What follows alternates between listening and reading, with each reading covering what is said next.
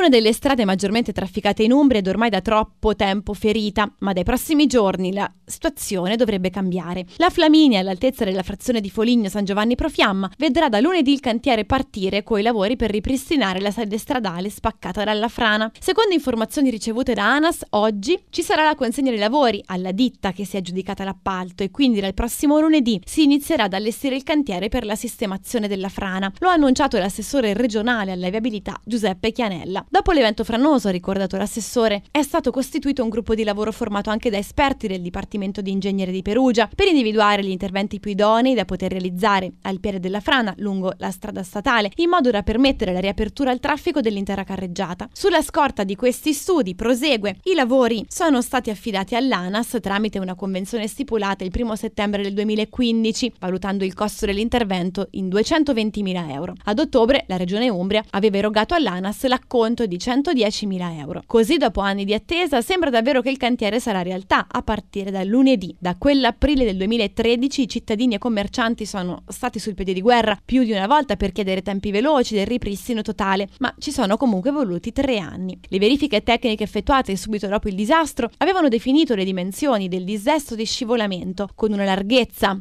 stimata intorno ai 130 metri, lunghezza di circa 200 ventri per un'area di 4 ettari, uno spostamento di una ventina di metri che aveva interessato almeno 500.000 metri cubi di materiale franoso. Oggi l'assessore Chianella ha ricordato che invece per quanto riguarda i lavori nel versante il soggetto attuatore è il comune di Foligno che ha presentato recentemente i documenti necessari per procedere alla concessione del contributo il cui atto è in fase di lavorazione.